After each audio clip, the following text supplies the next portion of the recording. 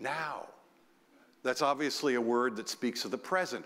That little word speaks of the present possession of the believer and a result of having been saved by Him, putting your trust in Him.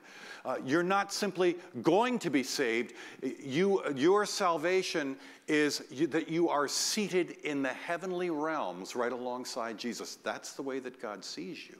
Now, sitting on the right hand of the Father is a very, very special place. And God the Father sees it as such a certainty that it is stated in the past tense. He seated you there. So, in other words, it's not someday that you'll be acceptable. It's not that someday you'll be saved. It's that that is your present possession now.